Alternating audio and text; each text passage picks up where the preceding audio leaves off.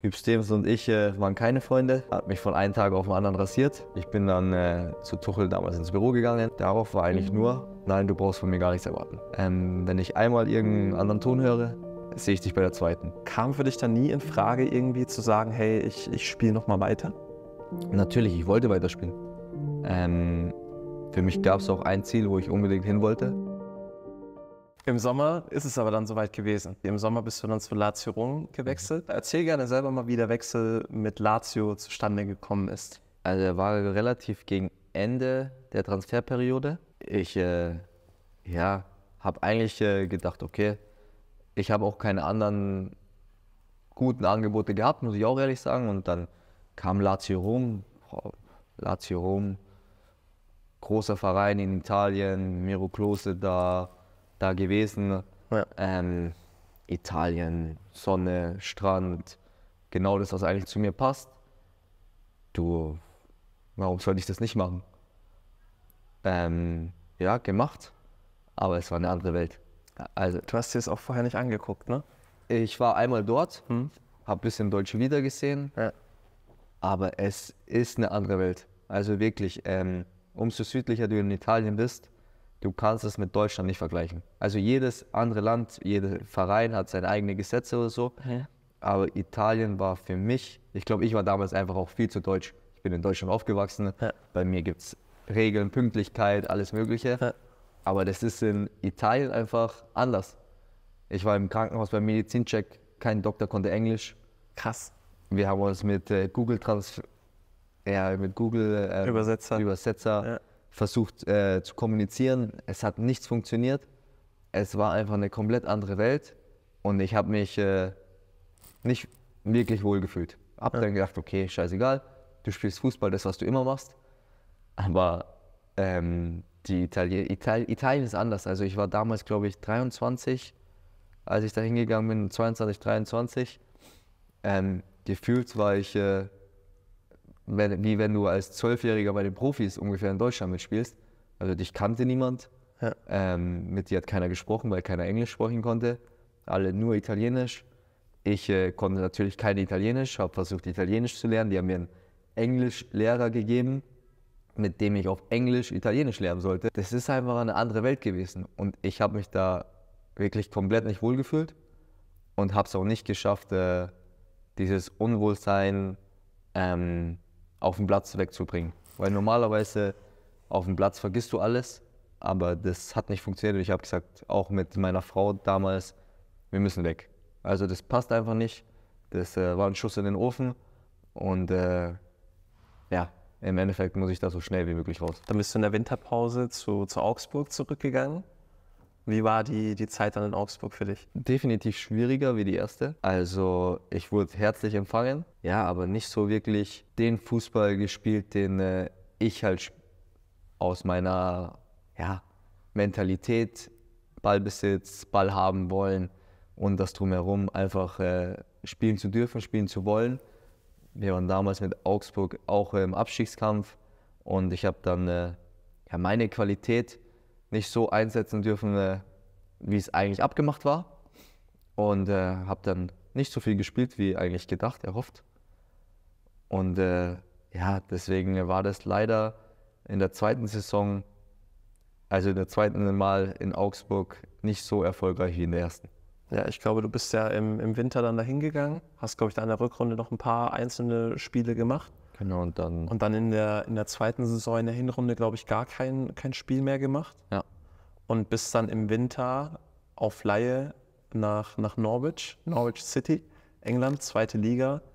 Was glaube ich, du wirst es wahrscheinlich jetzt gleich auch erzählen, aber alleine, wie ich mir das vorstelle, eine wahnsinnig krasse Zeit war, oder? Ihr seid in die Premier League aufgestiegen mit dem Club. Ich habe den Namen, ich glaube, bevor du da gespielt hast, nie irgendwo gehört. Also ich kannte den Club auch gar nicht. Ja, dann weißt du nicht, wo Harry Kane gespielt hat. Dann weiß ich nicht, wo Harry Kane gespielt hat, ja. Aber ich glaube, jeder, der sich nicht so mit dem englischen Fußball äh, befasst, äh, hatte den gar nicht auf dem Schirm. Bist dann mit dem Club aufgestiegen, hast Premier League-Spiele auch gemacht. Wie, wie kam da der Kontakt zustande? Also kanntest du den Club vorher, als die angefragt haben? Ich kannte ihn auch nicht. Ja. Also da war. Wusstest du auch nicht, wo Harry Kane gespielt hat, ne? Nein, ich wusste auch. Äh, nach eineinhalb Jahren, als ich da gespielt habe, noch nicht, dass Harry Kane da gespielt okay. hat. Das habe ich auch irgendwann später erfahren. Ja. Ähm, ich weiß nur, dass Stuart Weber, der war damals auch bei Huddersfield, der wollte mich dann damals schon zu Huddersfield holen und ist dann bei Norwich gewesen und hat gesagt, der kommt zu uns. Und ich habe damals gesagt, du, ich, äh, ich passe nicht nach England. Ich passe auch nicht in die zweite Liga nach England. Ähm, gar keine Chance. Ich äh, passe eigentlich, so wie ich denke, nach Spanien, Italien. Ja, klar. Und äh, mein Berater hat damals gesagt, du, komm, wir fliegen einfach hin, schau uns an. Ich so, wir können so hinfliegen, aber ich werde nicht in England bleiben, keine Chance. Das bin nicht ich, werde ich nicht machen. Sind wir hingeflogen, ähm, waren dann äh, in der, ja, in Norwich am Trainingsgelände, ähm, sind ins Büro vom, äh, vom Sportdirektor gegangen, haben angefangen zu quatschen. Der sagt einfach, ja, hello, Mo, number 10 is okay for you? Und ich so, hä, wie? Ja, number 10 ist gut. Äh, haben meinen Berater angeschaut, was passiert hier? Ich, hab, ich unterschreibe doch gar nichts. Ich habe gedacht, wir schauen uns das nur an. Also, ja, ja, passt. Ähm, dann kam äh, Mediateam, hat gesagt, ja, können wir Mo schnell mitnehmen für ein paar Aufnahmen. Ich schaue wieder meinen Berater, ich so, wie ein paar Aufnahmen? Ich, äh, wir wissen doch gar nicht, was hier passiert. Also doch, das machen, wollen die nur haben, falls irgendwas ist. Ich ein paar Aufnahmen gemacht, wo es schon hieß, ja, willkommen in Norwich, dies und das. Ich so, ja, blöd dahergeredet auf Englisch, wusste nicht mal, was ich sagen sollte, aber okay. Und dann war es wirklich so, dass wir um, äh, ich glaube um 1 Uhr nachts waren wir dann im Hotelzimmer, haben nochmal drüber geredet, haben meine Frau angerufen. Ich so, du, ich weiß gerade nicht, was hier passiert, aber morgen in der Früh muss ich eigentlich eine Entscheidung treffen. Ich kann mir das aber nicht vorstellen. Also, äh, ist zwar super, ich werde super empfangen, alle wollen mich unbedingt hier haben, aber ich, äh, vier Monate wäre nur die Ausleihe und ich kann es mir nicht vorstellen. Den nächsten Tag in der Früh bin ich aufgewacht, waren wieder im Büro. Ja, okay, mach mal. Ja? Habe ich gesagt, okay, wir machen die vier Monate. Habe unterschrieben, habe meine Frau angerufen, Family angerufen, du, ich bin jetzt die nächsten vier Monate in England. Habe im Hotel gewohnt.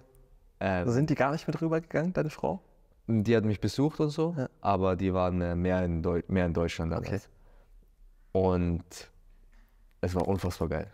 Also Ja. wirklich die Championship an sich, die Liga, wo ich nie gedacht hätte, dass ich bei dem Wind, bei jedem Tag Regen, bei gefühlt äh, englischem Wetter und allem so Bock habt, auf die Knochen zu bekommen. Ja. Es war unfassbar geil. Also, Also hast du auch wirklich den Unterschied gespürt äh, zur Bundesliga oder ja? Also ich weiß noch, erstes Spiel habe ich in Derby County damals gemacht und habe einen Ellbogen bekommen. Ich habe Sterne gesehen und habe gedacht, okay, der kriegt rote Karte.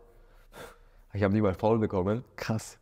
und äh, da wusste ich, okay, welcome to England. Und Championship hat nochmal besondere Gesetze, aber es ist ehrlich so im Nachhinein wahrscheinlich einer der geilsten Liga, die ich gespielt habe. Und auch das Drumherum, da ist wirklich scheißegal, ob du rote Haare hast, ob du ähm, so bist, so bist. Solange du auf dem Platz Vollgas gibst, darfst du machen, was du willst. Du kannst theoretisch feiern gehen, du kannst Alkohol trinken. Ähm, die Zuschauer, die Suppo- Supporter dort, die feiern das. Die sagen, ja, das ist ja einer von uns, äh, der macht das äh, genauso und so. Du kannst einen Lambo fahren, einen goldenen, boah, geil, gib mal Gas. Ähm, es ist eine komplett andere Mentalität wie in Deutschland. Und es war damals einfach, ich habe es genossen. Ich habe es wirklich genossen. Und deswegen äh, habe ich auch alles dran getan, um in Norwich zu bleiben. Wie war dann nochmal der Unterschied äh, mit Premier League? Weil du gerade gesagt hast, die Championship war die geilste Liga, wo du gespielt hast. Premier League ist auch äh, unfassbar geil. Es ist halt dann, es ist vom Niveau her brutal. Also wirklich gefühlt, in der Championship ist es schon Wahnsinn, dass die in der zweiten Liga einfach Spieler für 30 Millionen, für 40 Millionen holen, wo du sagst, der macht nicht mal ein Bundesliga-Verein mit. Ja. Ähm, und Cham äh, Premier League ist dann nochmal eine andere Hausnummer. Also da hast du dann wirklich, also qualitativ ist die Championship schon unfassbar. Also du hast immer drei Stürmer vorne, die könnten in jedem Bundesliga-Verein, wären die Startelf.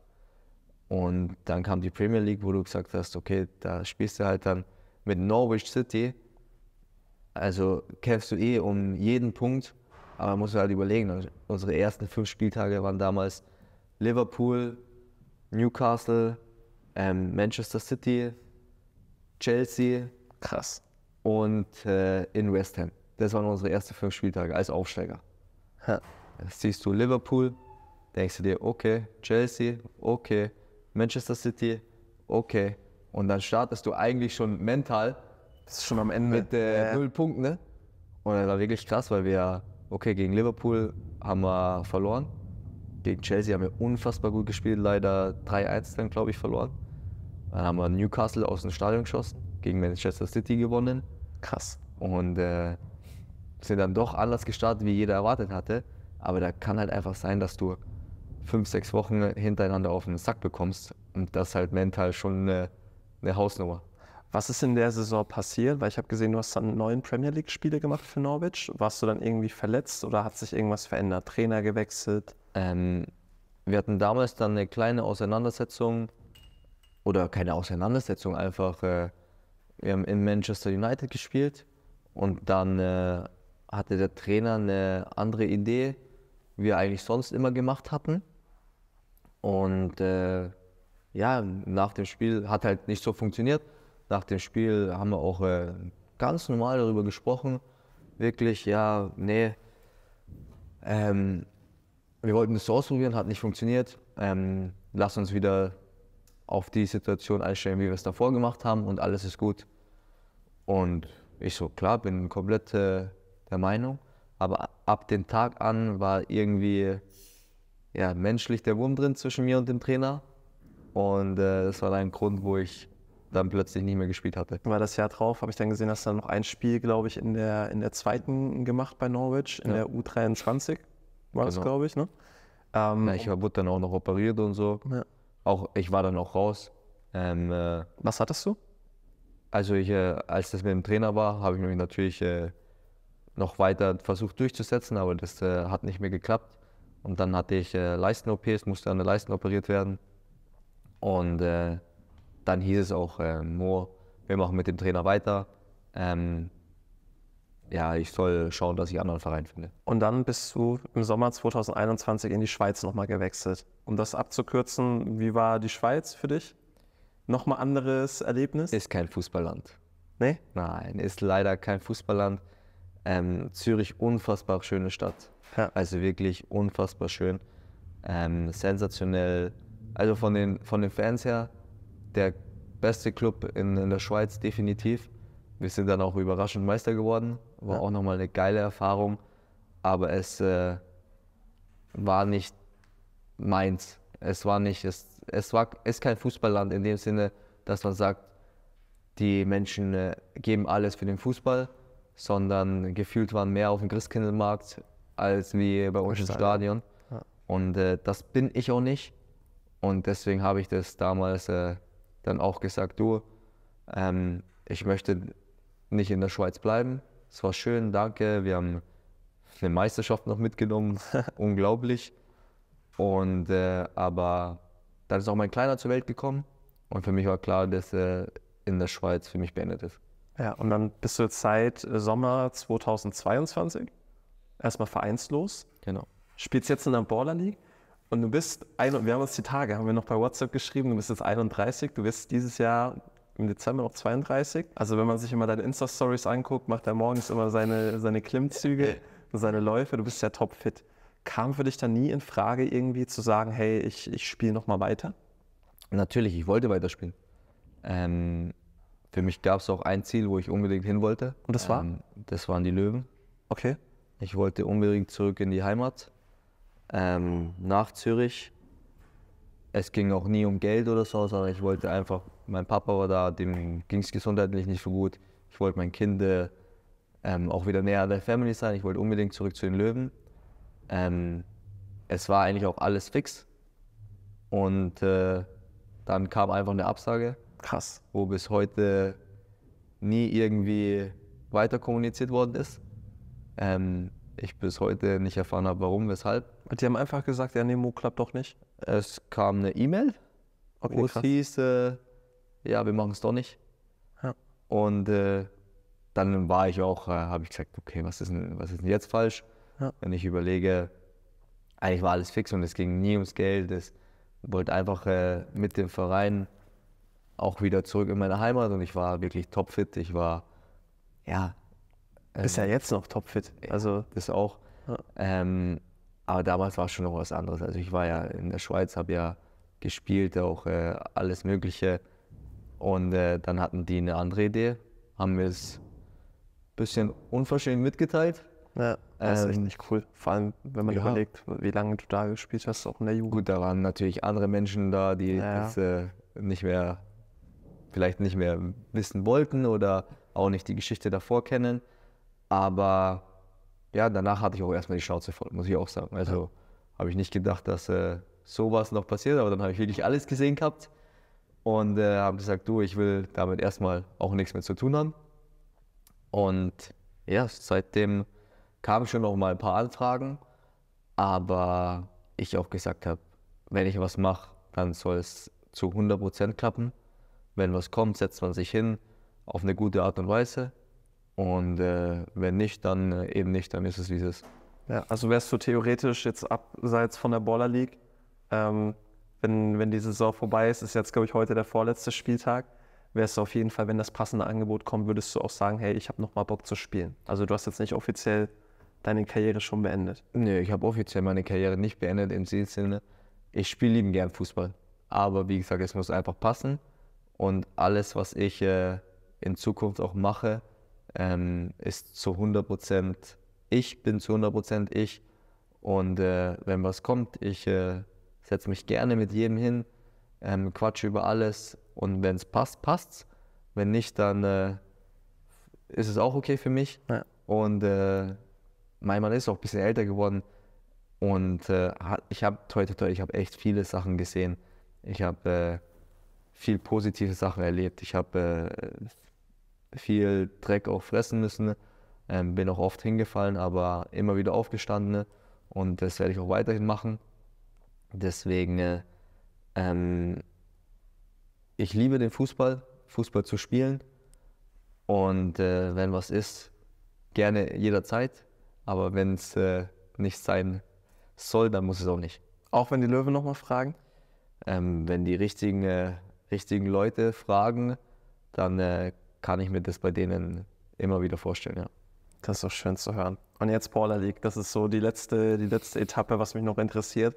Wie, wie bist du darauf aufmerksam geworden oder wie kam das überhaupt zustande, dass du, dass du hier mitspielst? Eigentlich ganz einfach. Also Lasse war, kam damals zum Beispiel auf mich zu, hat gesagt, kannst du dir das vorstellen? Ich, man hat sich ein bisschen schlau gemacht, auch mit den Jungs gesprochen, mit, mit Mats. Man kennt ja einige, die auch ein äh, bisschen was damit äh, aufgebaut haben.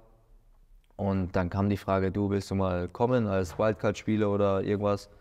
Und irgendwann habe ich die Entscheidung gehabt, habe gesagt, ganz ehrlich, äh, ganz oder gar nicht, weil das bin ich einfach. Und äh, ich habe dann gesagt, du, ich mach's, mach's ganz, ich bin dabei.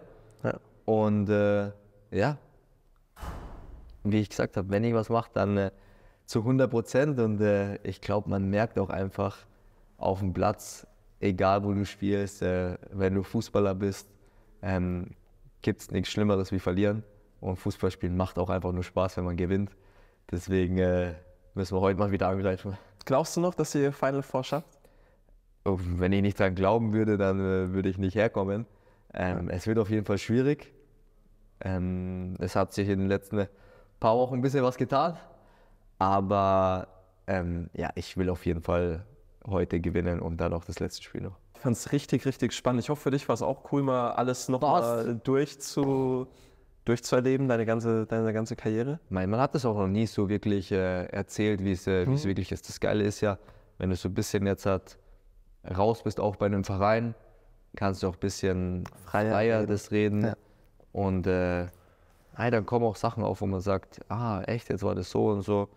Und äh, ja, im Endeffekt ist das so meine Geschichte. Ich weiß auch, dass es nicht nur bergab geht, sondern dass auch wirklich äh, ich ab und zu auf den Boden gefallen bin. Aber für die Zukunft ist, glaube ich, auch mal ein steiniger Weg immer, immer hilfreich. Ist wichtig, da lernt man draus. Genau. In diesem Sinne war es das mit dem Video. Ich hoffe, euch hat das Ganze gefallen. Ähm, falls ja, schaut natürlich auch gerne bei Mo vorbei. Ähm, verfolgt die Border League, drückt den Las Ligas Ladies äh, die Daumen, dass ihr dann die Final Four äh, erreicht. Wie gesagt, schaut gerne bei Mobile Instagram vorbei. Meine ganzen Social Media Kanäle findet ihr unten in der Videobeschreibung verlinkt. In diesem Sinne, abonniert den Kanal, lasst einen Daumen nach oben da und äh, wir sehen uns nächste Woche am Freitag wieder bei einem neuen Video. Ciao, ciao. Adios.